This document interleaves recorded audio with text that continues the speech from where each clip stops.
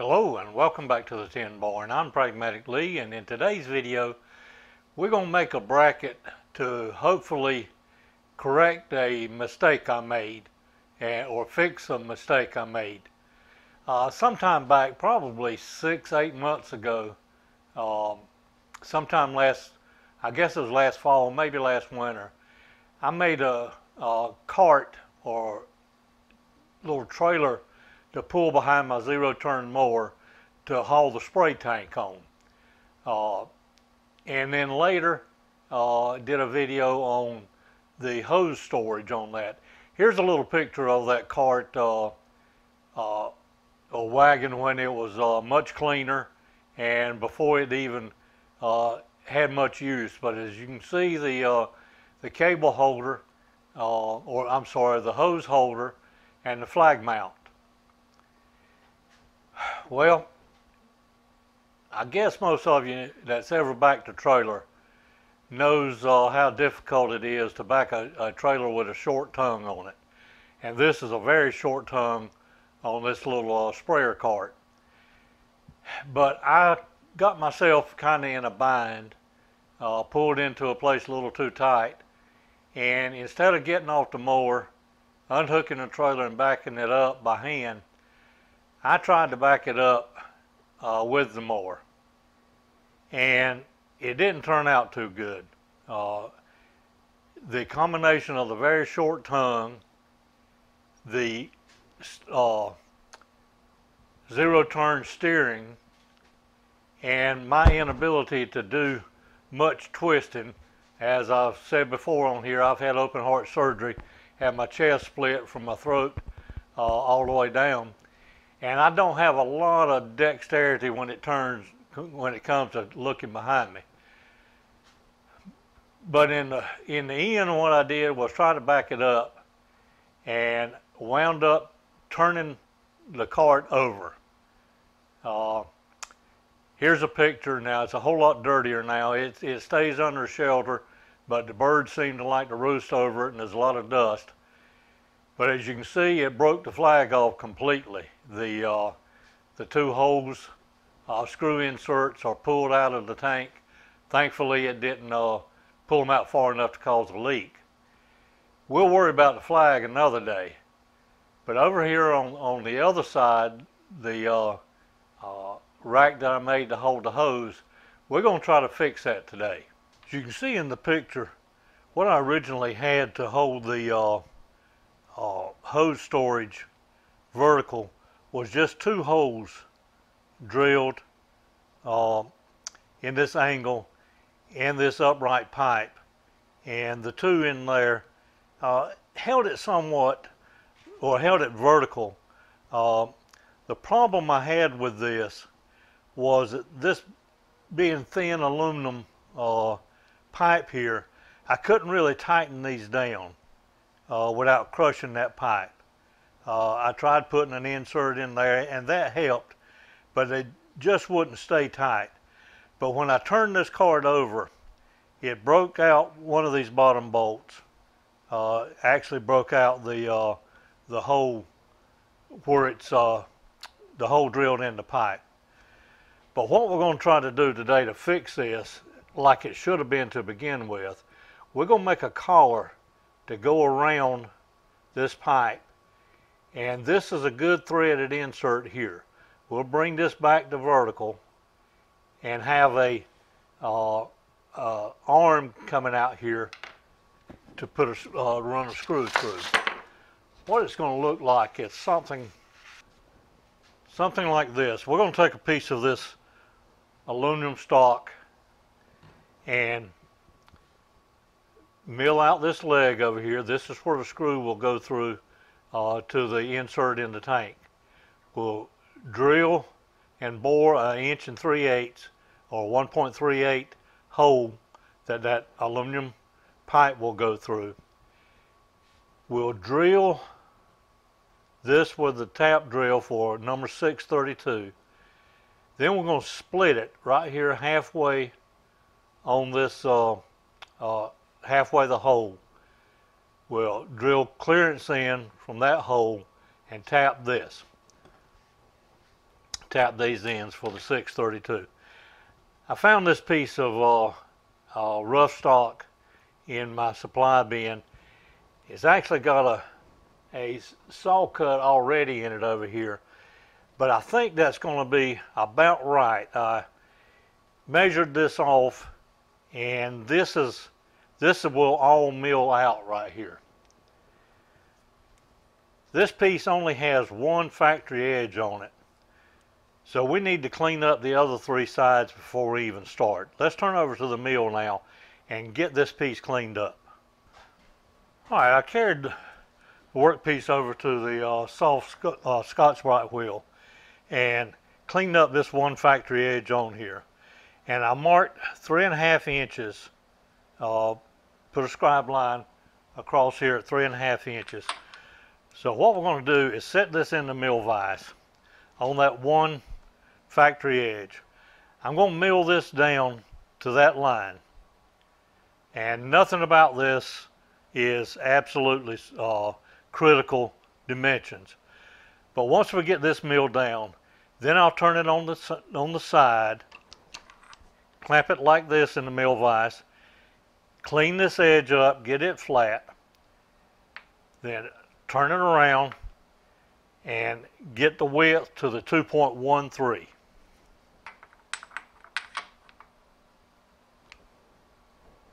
And I'll be doing that with this uh, one inch, uh, one inch two flute end mill.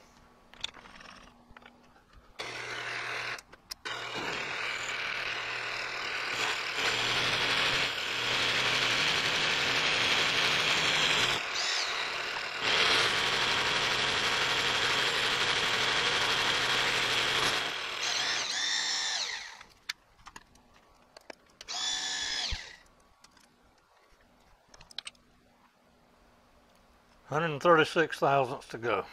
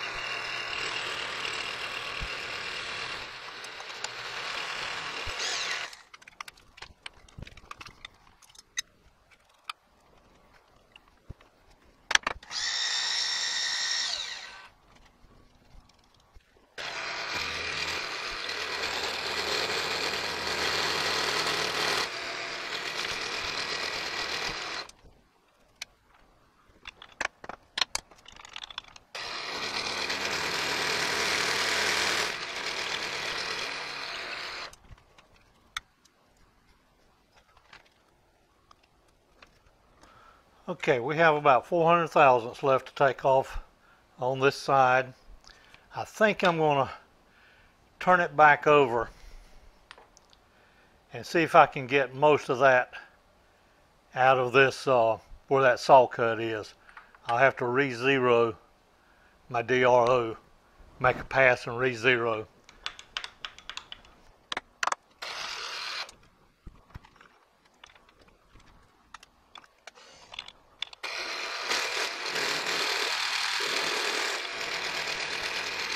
The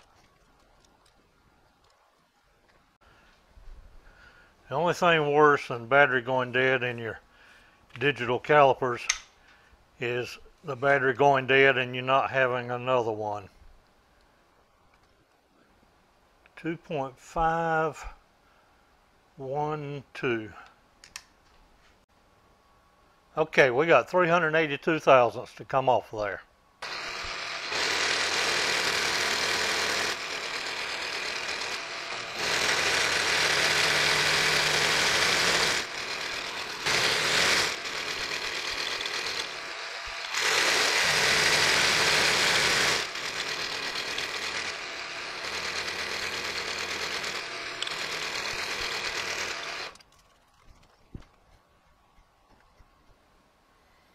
All right, that's 2.132.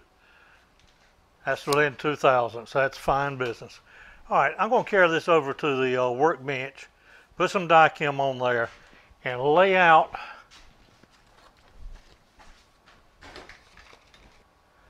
what I'll do is lay out these lines right here and then carry that over to the bandsaw and cut it off. Alright, I got our area marked off here that we want to cut out with the bandsaw and that existing saw cut that was in here uh, wouldn't have come into play in, in any case. But uh, let's go to the uh, bandsaw now and cut this out.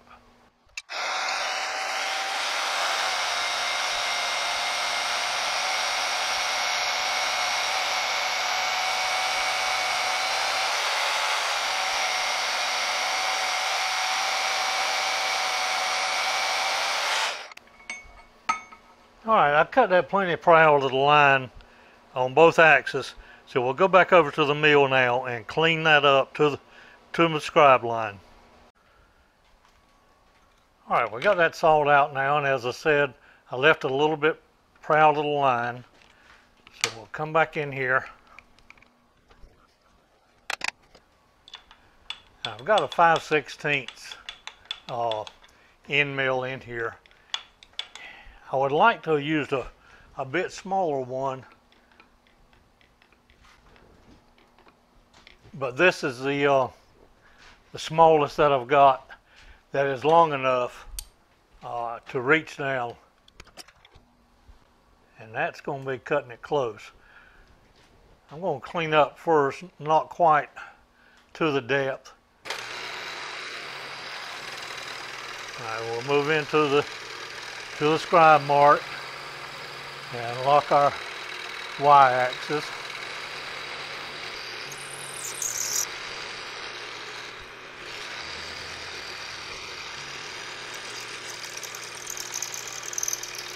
Now we'll lock our x-axis down and I believe I can do that full depth in one pass.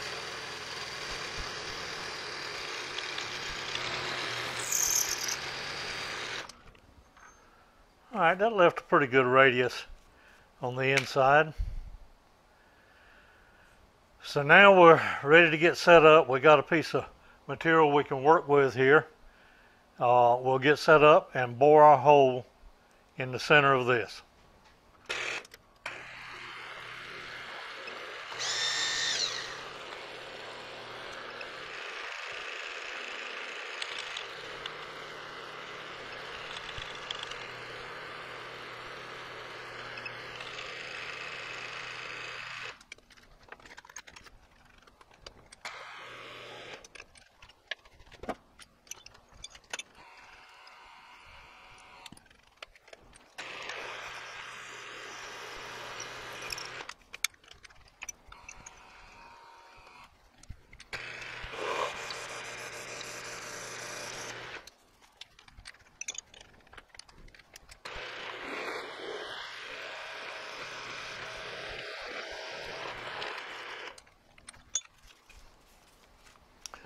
One inch is the largest um, metal cutting bit that I've got. Uh, so we'll take the uh, drill chuck out now and put the boring head in.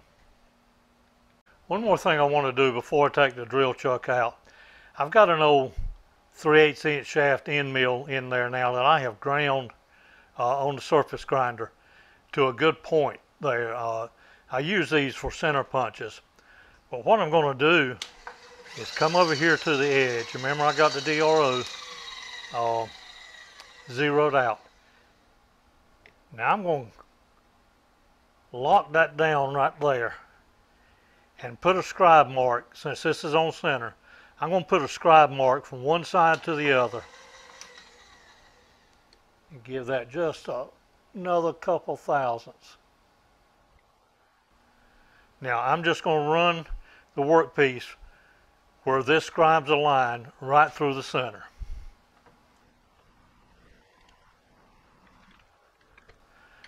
Now I think you will uh, see and be able to appreciate what that scribe line is for when uh, when we get ready to split this in half. So I'm going to come over here and put the boring head in now. Okay, I've got the boring head in now.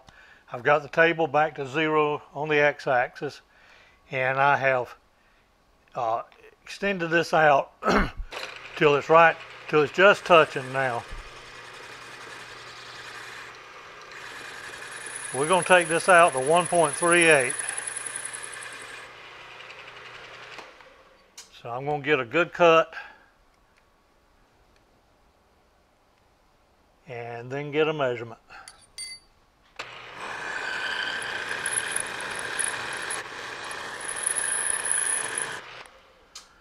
I'm going to stop right there for a minute and request you guys post a comment I'm using these uh, carbide boring heads or boring bars in this boring head and all that I've got in this set are getting kind of dull.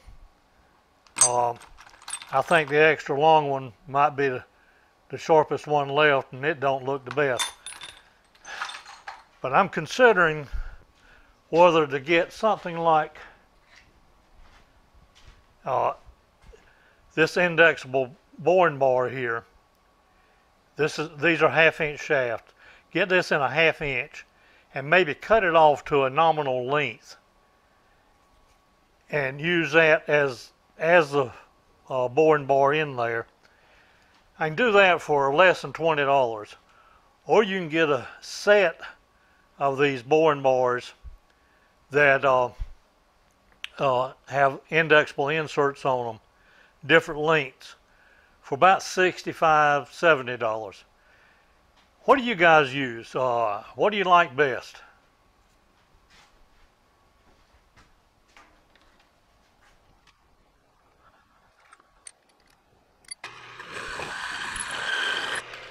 All right, this one's not cutting at all. All that's doing is ragging that. So let me go back through this set and see if I can't find something a little sharper that'll make that, that depth. All right, I think this one's going to cut a whole lot better. I made a couple cuts and measured and got about 250 thousandths left to go. So there's 50.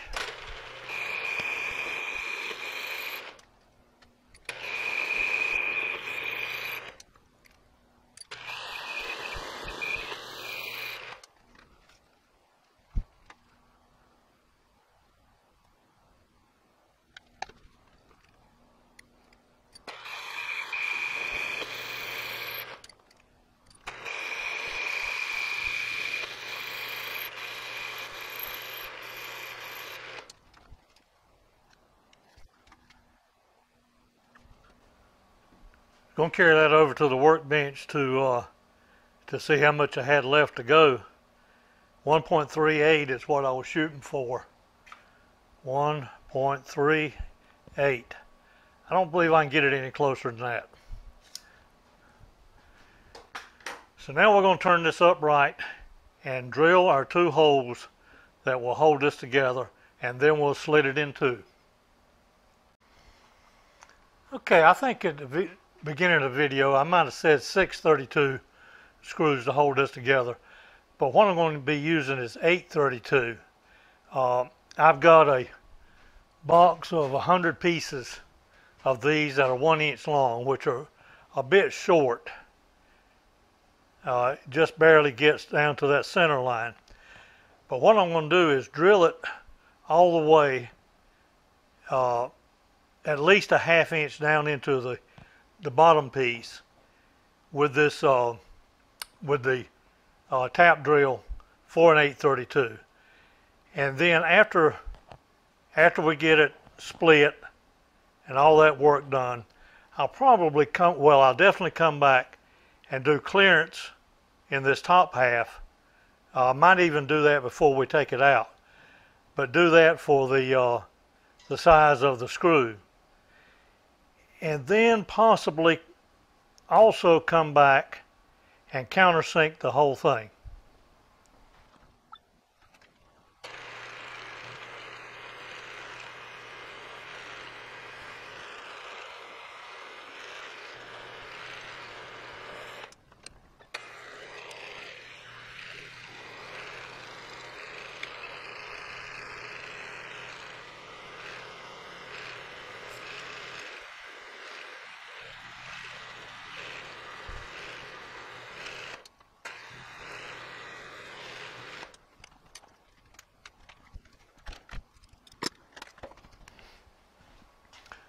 Okay, after seeing that whole location, I'm not going to be able to counterbore enough for the head to go through without leaving a very thin wall over there.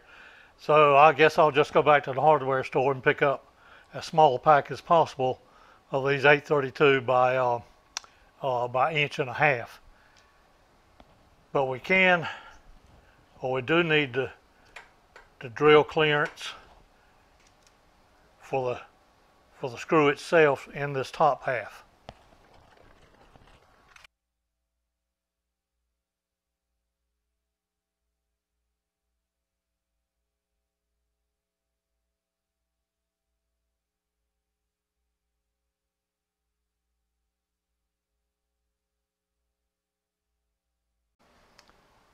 Okay, today's not a good day for me and batteries, I guess. not sure when the uh, uh, battery died and lost audio uh, in the last segment. But what I was saying was there was not enough room on the edge over here to uh, to counterbore for the whole head. So what I'll do is just go to the hardware store, pick up some 832 by inch and a half long, uh, and then the head will set proud on the outside. All right, we've flipped the part over now. Now I've got a quarter inch end mill in here and located the center of the uh, of the attachment leg sticking out. So we're going to go down in this. Need to lock my axis.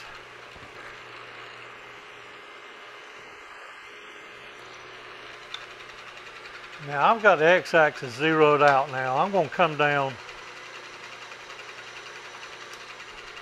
just to what looks like a reasonable, and that's a half inch right there.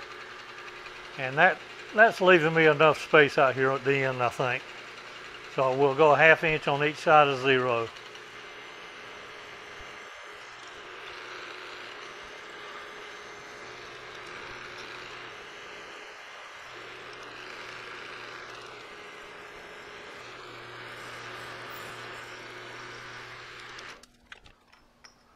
Okay, so now we got our slot milled in there that will, the screw that holds this back to the tank, provide a little bit of adjustment.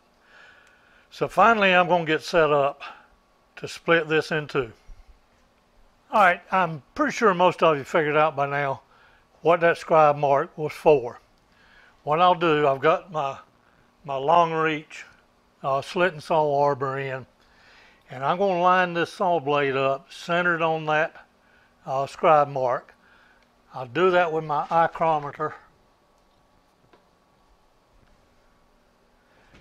And I'm sure for you guys it's going to look like it's uh, off a bit. But I'm trying to get down here at the same eye level with it. And I think that's going to be it. So what I want to do now is line the, line the saw up just so the blade goes through it. And lock the y-axis down. Let's try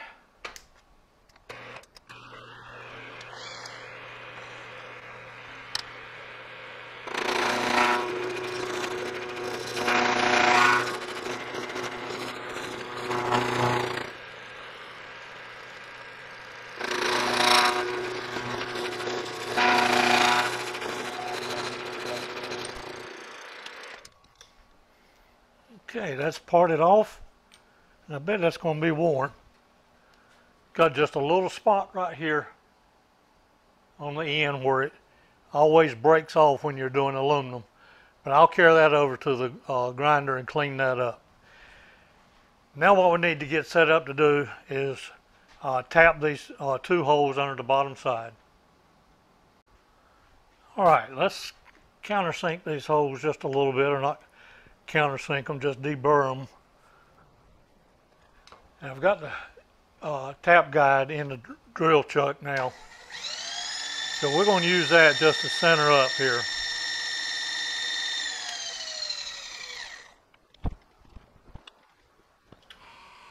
All right, we're going to start with a taper tap, of course.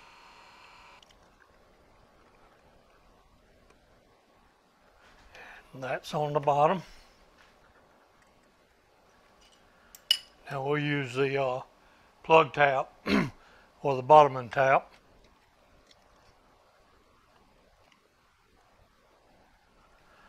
Okay, that's got that whole tap to the bottom. I'm going to move over and do the same thing to this side.